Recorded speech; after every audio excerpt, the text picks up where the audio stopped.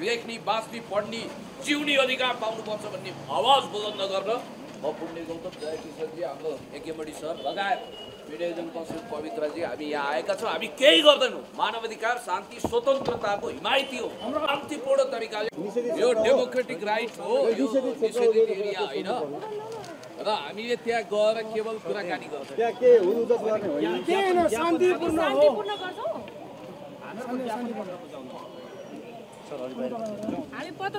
हामी पत्र बुझाउन जानु है। क्षेत्र होइन नि त। ज्ञापन- पत्र बुझाउँछौँ।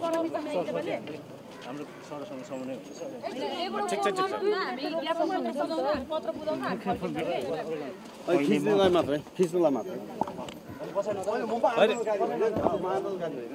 यसो छ। ज्ञापन पत्र बुझाउने हो माइती नेपालमा।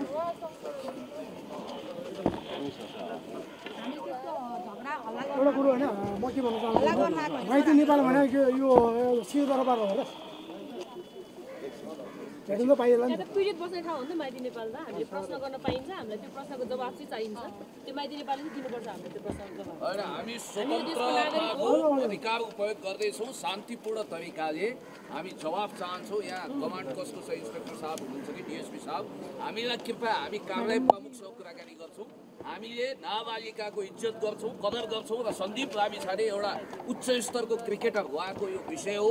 हामी अदालतलाई सम्मान गर्छौँ। मात्र यो जवाब चाहन्छौँ कि माइती घर भनेको त विवाहितहरू बस्ने ठाउँ हो।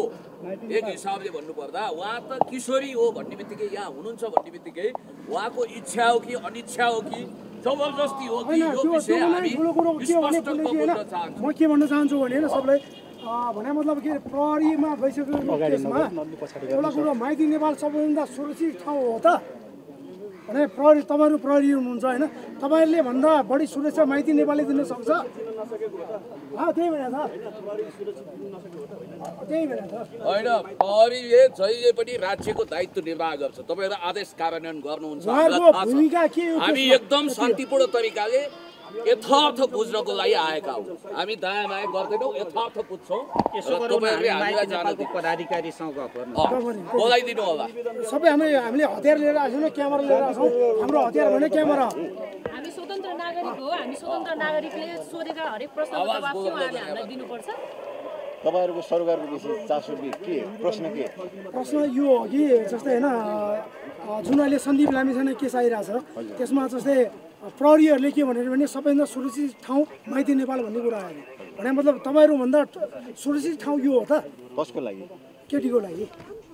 होइन जो नाबालिका भनिएकी किशोरी छन् उनलाई यहाँ राखिएको हामी बुझेका छौँ र उनको इच्छा हो कि होइन त्यो मात्रै हामी बुझ्न चाहन्छौँ। हामी कुनै करकाप गर्न चाहँदैनौँ शान्तिपूर्ण तरिकाले सुन्नुहोस् राज्यका निकायहरू कुनै पनि केसहरू हुन्छ नि त्यसको अनुसन्धान गर्न कम्पिटेन्ट छन्। हामी सक्षम छौँ। अनुसन्धानमा भएको विषय र पीडितको चाहिँ तपाईँको जुन गोपनीयताका कुराहरू छन् उहाँ कहाँ हुनुहुन्छ के हुनुहुन्छ भन्ने विषयमा तपाईँहरू। होइन। यो बुझ्ने मान्छेले यहाँ आएर माइती नेपाल घेर्ने चाहिँ होइन। होइन सत्य यसो सत्य म बताउँछु। हामी माइती नेपाल किन आयौँ भने नि माइती नेपाल आउनेको कारण हेर्नुहोस्। अनुसन्धानमा स्वतन्त्र अनुसन्धान हुनुपर्छ यो हाम्रो इच्छा हो। स्वतन्त्र अनुसन्धान हुँदाखेरि पीडित पीडितलाई tell, यो त। एउटा एनजिओ एनजिओ भने सरकारी निकाय त होइन। पीडितको अवस्था के छ भन्ने कुरा थाहा पाउने हाम्रो अधिकार रहन्छ। राष्ट्रिय मिडियामा के भनियो भन्दा पीडितलाई माइती घरमा बस्ने माइती नेपालमा बस्ने इच्छै छैन। कसको संरक्षकत्वमा माइती नेपाल राखिँदैछ? प्रहरी प्रशासनले इन्भेस्टिगेसनको क्रममा मान्छेलाई त के हो भने जाहेरी दिन ल्याइन्छ मौका कागज गर्न बोलाइन्छ अनि चाहिँ पीडितलाई चाहिँ कागज गर्न बोलाइन्छ आवश्यक परेका बेलामा उपस्थित गराइन्छ। अरू बेला उसको इच्छा विपरीत माइती नेपालमा लगेर राख्ने अधिकार नेपाल प्रहरीलाई पनि छैन। यो कुरा स्पष्ट हामीले बुझेर नै यहाँ चाहिँ त्यो कुरा बुझ्न आएका हौँ। हेर्नुहोस् नेपाली नागरिक हो नि ऊ त जाहेरी हाल्न उसको दाजुको संरक्षकमा आएको छ नेपाल प्रहरी संरक्षक हो र? नाबालकको नाबालकको संरक्षक उसको दाजु हो उसको परिवार हो। उसको परिवार हामी राख्न र उसलाई पढ्न दिन सक्छौँ भन्छ तर नेपाल प्रहरीले माइती नेपाललाई जिम्मा लगाएर उसको पढ्ने अधिकार कुण्ठित गरेका छ परिवारले तपाईँसँग भन्यो त्यो कुरा? होइन आम सञ्चार माध्यममा आइसक्यो। सञ्चार माध्यममा आयो नि त्यो आएको विषय हो भने प्रहरी विरुद्ध गौशालामा परिवारको मान्छे आउनु आउनुहोस् न हामी उहाँहरूसँग कुरा गर्छौँ। हामी एज अ होल नेपाली नागरिक हौँ सर। नेपाली नागरिकलाई कुनै पनि महिलाको हक अधिकारको सन्दर्भमा बोल्ने लेख्ने र सूचना माग्ने अधिकार छ नि हाम्रो छैन र? संविधानले दिएको राइट्स हो सर किनकि त्यो public उसलाई यो स्वतन्त्र रूपमा आफू यो अध्ययन गर्ने अधिकारबाट कुण्ठित भागी छन् भनेर चाहिँ नेपाल प्रेसले समाचार सार्वजनिक गर्यो। यो विषयमा नेपाल प्रहरीले त कुनै पनि टिप्पणी गरेका छैन। विज्ञप्ति पनि आएको छैन। आएको छैन। स्वतन्त्र रूपमा आफू कलेज जान पाउने अधिकार कुनै जाहेरवालालाई रहँदैन र उसले आफू पढ्ने लेख्ने अधिकारबाट कुण्ठित हुनुपर्छ। इभन त्यो त्यो नाबालिका पीडितले भेट्न पाउँदाखेरि उसको परिवारले भेट्नका लागि नेपाल प्रहरी थ्रु भेट्नुपर्छ भनेर माइती ने नेपालका पदाधिकारीले सार्वजनिक रूपमा बोल्नुभएको छ। हामीहरूले देखेको स्पष्ट कानुन त के हो भने प्रहरीलाई भेट्नका लागि चाहिँ नाबालकले परिवार धेरै कुरा नगरौँ। तपाईँले भनेका कुराहरू त्यो हुन् भने पीडितको परिवार थ्रु आउन् हामी त्यो त्यो सन्दर्भमा बुझ्छौँ। है? होइन हामी होइन होइन हामी माइती माइती नेपालसँग यो प्रश्न राख्छौँ। होइन पीडित होइन। अधिकार छ के कुनै माइती नेपाल गरेको कुले पुलिसले धमधम राखेको हुन्छ? होइन हामी त माइती नेपालसँग प्रश्न सोध्न आएका हौँ। माइती नेपालसँग। public भइसकेको विषय हो। सन्दीप भनेको यो देशको इज्जत हो। यो त हामीले ज्यादती बोल्न भयो नि पाउने अधिकार लोकतन्त्रमा, होइन छ र? हामीले प्रश्न सोध्न पाउने अधिकार छ। होइन यसो नि परिवारले नै कुनै बच्चालाई मार्न सक्छ तर चाहिँ समाज पनि जिम्मेवार र जवाबदेही हुन्छ। त्यही जवाबदेहिताका लागि आएको। त्यो महिला पढ्ने लेख्ने अधिकार छ नि त। केही पनि यो सरकारी संस्था होइन नि त? यो त आइएनजी हो। एनजिओले राख्न पनि पाइँदैन नि त खासमा। गाडी चाहिँ जान्थ्यौँ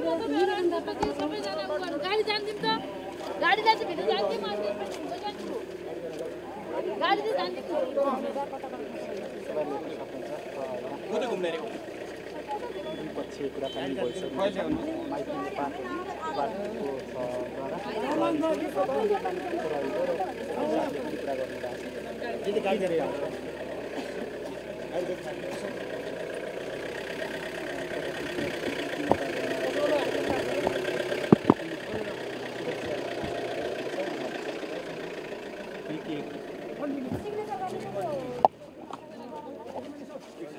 जान्छु गाडी चाहिँ जान्थ्यौँ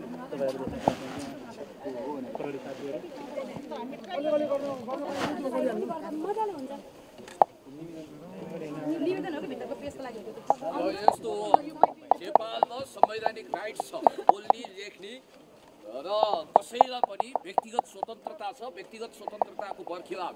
ती किशोरीले यहाँ बस्न चाहे कि छैनन् भने यो कुनै सरकारी निकाय होइन। यो अनुराधा कोइरालाले सञ्चालन गरेको एउटा आइएनजिओद्वारा पालित पोषित एक खालको पहिला नाम कमाएको अहिले चाहिँ डलरे संस्था भनेर पनि चिनिन्छ। त्यस कारणले गर्दाखेरि यदि सरकारी निकायमा भएको भए हामीलाई हामी कसैलाई पनि कुनै आपत्ति थिएन। तर नेपाल प्रहरीलाई हामी इज्जत गर्छौँ सम्मान गर्छौँ र हाम्रो कुरो सुनवाई गरियोस् र हामी एकचोटि भेट्न चाहन्छौँ। प्रहरी थ्रु भए पनि नाबालिका यहाँ बस्न म चाहन्छु भन्ने कुरा आओस् न। यदि स्वतन्त्र रूपमा नाबालिका बस्न चाहेर बसेको हो कि जबरजस्ती यहाँ राखिएको छ भन्ने कुरालाई त चाहिँ सार्वजनिक गर्नु पर्यो नेपाल प्रहरीले पनि गर्नु पर्यो र माइती नेपालले पनि गर्नु पर्यो आफ्नो डिग्निटी जोगाउने साख जोगाउने हो भने नेपाल प्रहरीका कुरा मात्रै हामीले पत्याउनु पर्ने माइती नेपालका कुरा मात्रै पत्याउनु पर्ने हो र नाबालिकाको कुरा त ऊ आफू म विद्यालय जान चाहन्छु म पढ्न चाहन्छु म शिक्षा लिन चाहन्छु म माइती नेपालको घेराभित्र बस्न चाहन्न आवश्यकता परेका बखतमा प्रहरी प्रशासन अदालतमा उपस्थित हुन तयार छु। मेरो परिचय परिवारले मलाई चाहिँ संरक्षण दिन सक्छ भनिराखेका अवस्थामा जबरजस्त संरक्षणका नाममा कुनै विदेशी लगानी भएका संस्थाले कुनै नेपाली नागरिकलाई पाल्नुपर्ने बाध्यता छैन के?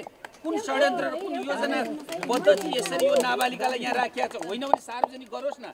हामी पनि नेपाली नागरिक हो मानव अधिकारको संरक्षण भएको छैन भन्ने बुझेर हामी यहाँ आयौँ भनेपछि नेपाल प्रहरी र माइती नेपालले सार्वजनिक गरेर म स्वतन्त्र रूपमा यहाँ बसेकी हुँ। यहाँ मेरो चाहिँ इच्छा बमोजिम बसेकी हुँ।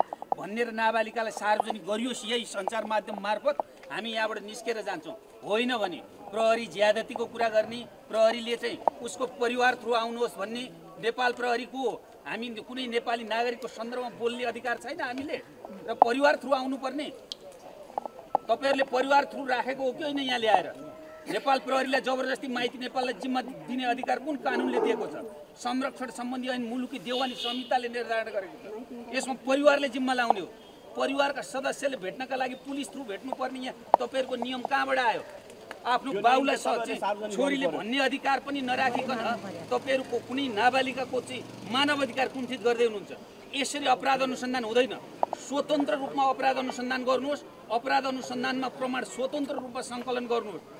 स्वतन्त्र रूपमा कुनै अपराध अनुसन्धान भएन र प्रमाण सङ्कलन गरिएन भने यो कानुनको धज्जी हुन्छ विधिको शासन विपरीत हुन्छ। त्यसैले एउटा कानुन व्यवसायीको हैसियतले पनि म तपाईँहरूको अगाडि आएको हो। विधिको शासन स्थापित गर्न स्वतन्त्र अनुसन्धान गर्नुपर्छ। यो कुनै पीडितलाई। चाहिँ जबरजस्त एउटा संस्थामा थुनेर स्वतन्त्र रूपमा उनको बयान गर्ने अधिकार कायम राख्छ। उसको परिवारको संरक्षणमा गर्नुहोस् तपाईँहरू। मलाई त माइती नेपालका डिपुटी कमान्डरले भन्नुभएको छ पुलिसले भेट्न चाह्यो भने पनि यी नाबालिकालाई चाहिँ प्रहरी थ्रु मात्रै भेट्न पाउँछ भन्छ। त्यो कानुन कहाँ छ? मलाई प्रहरीले चाहिदिनु उनको पर्यो। मानवाधिकारलाई हाइली सम्मान गर्नुपर्छ यहाँ इच्छा र अनिच्छाका कुरा नगरौँ। यदि बालिकाले म इच्छुक छु भनिन् भने पनि अन्तर्राष्ट्रिय जगतमा प्रभाव पार्न सक्यो हल्ली खल्ली मचाइसकेको होइन। अन्तर्राष्ट्रिय मुद्दा हो यो भएको कारणले गर्दाखेरि को पक्षमा दुवै पक्षलाई प्रहरीले हिरासतमै राख्नुपर्छ असुरक्षा छ भने। तर यहाँ इच्छुक छन् बालिका भन्दैमा चाहिँ यहाँ भोलि बयानलाई प्रभावित पार्नका लागि कुनै पनि संस्थाले बयान रटाएर यसो भन् भनेर राख्न पाउँदैन। बालिका म यहाँ बस्न इच्छुक छु त्यहाँ जान इच्छुक छु भन्नै पाइँदैन यो केसमा प्रहरीले राख्नुपर्छ माइती नेपालले म यहीँ बस्छु कि यहीँ बस्छु भने पनि प्रहरी र सरकारलाई बालिका जिम्मा लगाउनुपर्छ बालिका हो कि महिला हो है? यहाँ इच्छाले पनि राख्नु पाइँदैन इच्छा र अनिच्छा हामीलाई थाहा छैन। तर बयान प्रभावित हुन्छ नि त सार्वजनिक संस्थामा राखेको हुँदैन। के हुन्छ हुन्छ नि उसले एक्लै राखेर सन्दीप लामिछानेलाई एक्लै राख्नुपर्ने कसैसँग भेट गर्न नदिने उनलाई संस्थामा ल्याएर रटाउने बयान त्यो हुँदैन नि। यो बयान रटाउन राखेको सुरक्षा दिन नेपाल सरकारको प्रहरीले सक्दैन भने त प्रहरी जति नेपालको सबै हटाइदिउँ माइती नेपाल मात्रै राखिदिउँ त देशैभरि हुन्छ त। असुरक्षाको दृष्टिले होइन। हिरासतमा राख्दाखेरि दुनियाँ लाखौँ सुरक्षित छन् भने त्यही एकजना महिला मात्रै असुरक्षित हुने कुरा हुँदैन नि त्यो भएको कारणले बयान प्रभावित हुन्छ इच्छा भए पनि नभए पनि यहाँ राख्नै पाइँदैन प्रहरीले भित्रै राख्नुपर्छ कि उसको घरमा राख्नुपर्छ है त्यो यो हो कुरा चाहिँ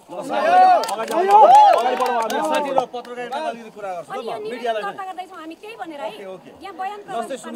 अन्तर्राष्ट्रिय स्तरमा मिडियाले यस्तो समाचार सम्प्रेषण गर्दाखेरि फेस लगाउनुपर्छ हाम्रो त्यो कोड अफ कन्डक्ट हुन्छ त्यस्तै गरी नाम हामीले नक्कली हाल्नुपर्छ। तर हामीले सूचनाको हक हामीलाई एबिसी एकुरेसी ब्यालेन्स क्रेडिबिलिटी भनेर सत्यको तथ्यको नजिक पुग पढाइएको हुन्छ। हामी नजिक पुग्न खोज्दा मिडियामा आयो कि यी किशोरीलाई दबाबमा राखिएको छ। यहाँको डेपुटी डिरेक्टरले भन्नुहुन्छ होइन उहाँ राजी खुसी हुनुहुन्छ र अहिले प्रहरी सय मिटर छेउमा आएर मिडियालाई समेत छेकेर यहाँ बसेको छ। सूचनाको हक विरुद्ध छ। अन्तर्राष्ट्रिय स्तरमा यो सूचनाको हकको विरुद्धमा छ। पत्रकारिताको विरुद्धमा छ। सङ्घीय लोकतान्त्रिक गणतन्त्रको विरुद्धमा छ। फेस लुकाएर नाम लुकाएर हामीले देखाउने र सूचना सम्प्रेषण गर्ने सत्यको नजिक जाने अधिकार साथीहरू पत्रकार साथीहरू हामीसँग त्यो राइट्स छ। तपाईँहरू जनताको निवेदन दर्ता गर्दैन भने माइती नेपालको काम छैन गेटमा ताला लगाइदिए हुन्छ। दर्ता गर्ने कार्यालय हो नि त यो। है जनताको माग छ निवेदनमा हेर्नुहोस्। एकपटक सबैलाई पढेर सुनाऊ है।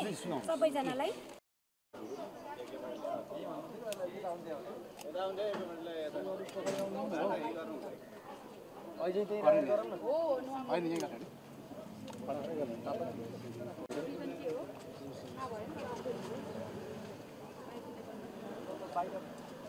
ஓ பாட்டி வரணும். நான் சொல்லணும் சரி